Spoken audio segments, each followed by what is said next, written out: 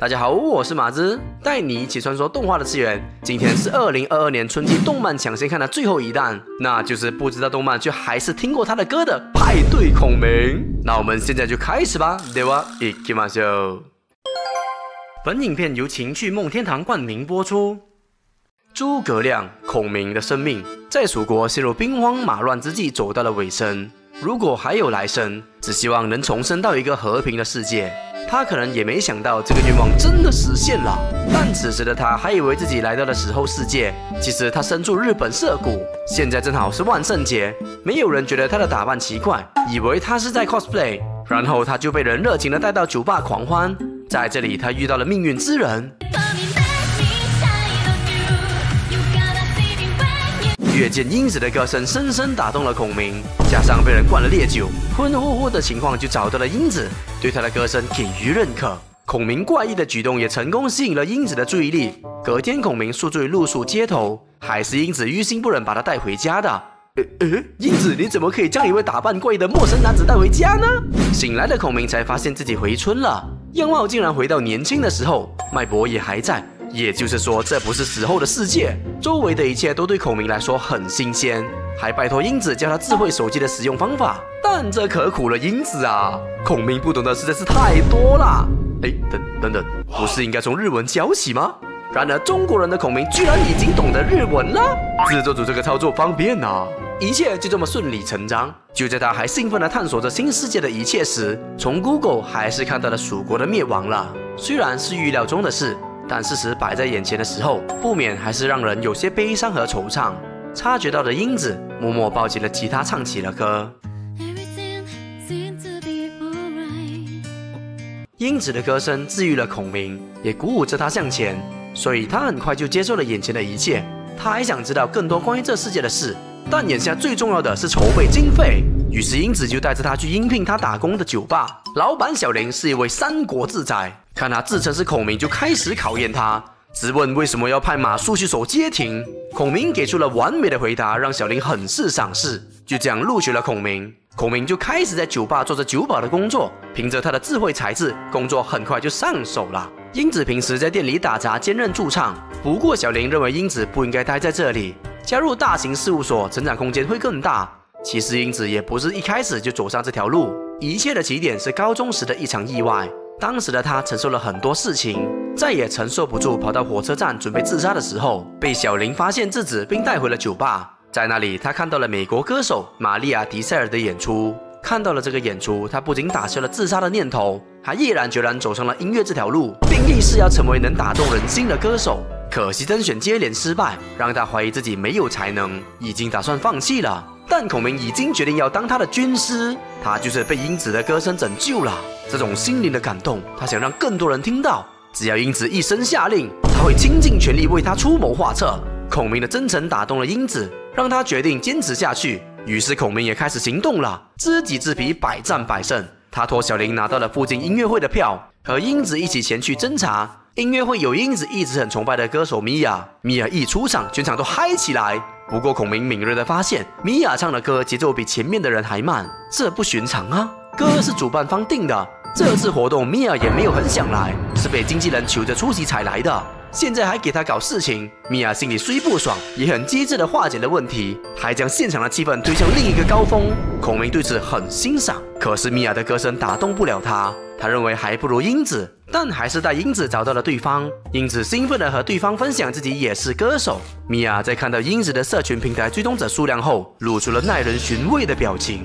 和他的经纪人讨论过后，竟然直接邀请英子到他之后会出席的活动表演。然而，等拿到时间表，才发现这都是陷阱。活动现场有三个舞池，米娅和英子被安排同一时间在不同舞台出场。这显然是米娅在拿英子垫背，来显得自己人气高。可是英子还是乐观的认为这是个好机会。在获得孔明的认可后，他也拜托孔明帮忙，让到时的现场座无虚席。接到命令的孔明兴奋不已，也提前勘察好演出地点。在表演当天，观众理所当然都在米娅的舞池，英子这里没几个人，还是孔明在那边派酒才有人过来。来的人本来打算拿了酒就回去，却发现怎么走都找不到出口。渐渐的，英子的舞池聚集了越来越多人。原来孔明使出了那一招“十兵八阵”，首先在舞池内释放大量烟雾，让观众行动路线上的灯不停闪烁，影响判断能力。再来让着装相似的两个男人按固定时间前往入口、厕所和员工出入口，扰乱观众。另外还设置了两个吧台，以及安正三角形摆放的圣诞树。正好这个舞池是舞台在正中心的锅炉防护罩，三百六十度无死角，在哪里都可以观看演出。这样一来，观众只能绕舞池一圈，最后抵达厕所走不出去。小林完全没想到这招真的能行，当然孔明只是制造了阻碍，真正让观众留下来的还是英子的歌声的力量。这次的舞台也让英子成功涨粉到一千多，对此英子就已经开心的飞起，但孔明是不会让他那么容易满足的。接下来他们要进军代代木艺术音乐节，之前表演的影片孔明拍了下来，交给英子的粉丝进行剪辑，发给了音乐节主办方，成功获得了参加资格。音乐节当天人潮汹涌。英子本来斗志昂扬，但找到他们表演的舞台后，就变得有些失落。毕竟名气还不够，被安排到角落一个简陋的舞台，还和人气独立乐团 Jetdoja Getto 同时演出。演出前，对方主唱还特地来打招呼，不过显然就只是做一做场面功夫而已。但他们也没有时间和他寒暄。英子表演的舞台设备出问题了，紧急处理中无法准时登台。本来就少有的观众也走了，英子难免有些担心。但孔明还是给足他信心。Jet Do，叫 Getto 舞台的后排观众只是跟风排队而已，只要他们设备修好，那些观众就会过来。英子被鼓舞，连忙抓紧练习。此时的孔明看到了他的君主。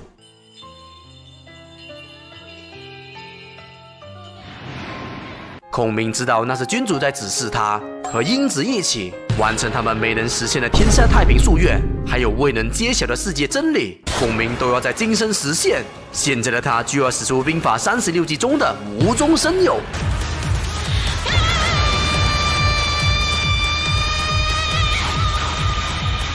果然和设想的一样，英子一开始唱，观众就开始被吸引过来。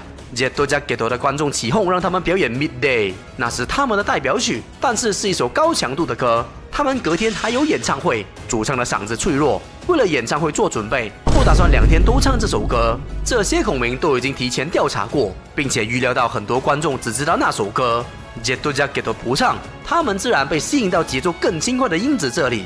这次的计划大成功。为了庆祝，孔明还给观众送酒干杯。也算是弥补当初没有和上战场赴死的士兵喝到诀别酒的遗憾。经过这次，英子变得更有自信，那也是孔明的目的。可是杰多加给多就不爽了，觉得他们手段卑鄙。然而孔明不以为然，还淡定的拿出一瓶饮料请他们喝。喝过以后，嗓子立刻变得清爽。孔明也不藏私，把食谱分享出去，还展现了对杰多加给多的喜爱，跟他们要了签名。得到帮助和崇拜的三人也没有继续追究，轻而易举的化敌为友。但还没来得及松一口气，下一个考验又来了。音乐界的泰斗近藤刚士，也是音乐节的主办人，找到了他们。原来英子刚刚的舞台已经在网上传开，他们都认为在那么偏僻的位置还能有那么多的观众是奇迹啊！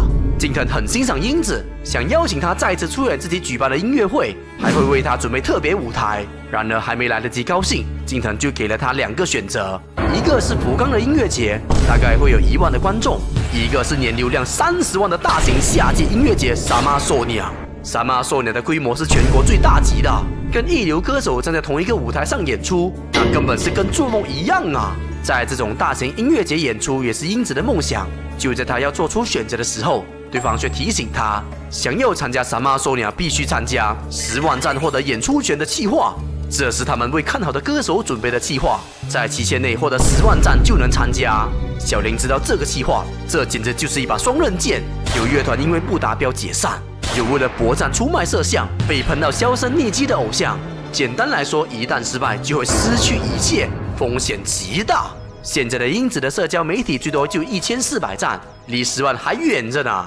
可是孔明再次给他打了强行针，只要英子想要，孔明都会全力支持。最后，英子毅然决然选择了萨马索尼亚。孔明也已经有了对策。以现况来说，英子想要获得十万赞很难，于是他决定招募说唱歌手。这一决定让小林和英子都震惊了。之后也看不出他有在行动。小林和英子都为十万赞而发愁，孔明却还悠哉悠哉的到处交朋友。英子对此也有些担忧，终于还是忍不住找到孔明，想要询问他对策。不过见到人，英子就问不出口了。反而被孔明带到俱乐部去玩，让人意外的是，孔明在这里已经结识了不少朋友，甚至在 DJ 出场后抛下英子自己一个人去嗨。但其实这都是计划的一部分。后来英子才知道，这段时间孔明一直在搭线寻找情报，帮他找到能够为他争取十万赞的说唱歌手。看到孔明那么努力帮他，英子也第一次打开心房，告诉孔明自己的梦想是 boys la land 全球最大规模的电子舞曲音乐节。要参加这个音乐节，就代表要成为世界级的歌手。英子从小就跟着爸爸一起唱歌，但某一天爸爸消失了，她还是坚持继续唱歌，仿佛这样就能维持和爸爸的联系。可是妈妈却站出来反对，打击了她的信心。是玛利亚的歌声让她坚定地走下去，靠着音乐活下去。所以她想参加 Boys La Lando，在那里实现梦想，成为能打动人心的歌手。而在孔明努力寻找说唱歌手的时候，英子也没闲着。他写了一首歌，希望能帮助收获十万赞。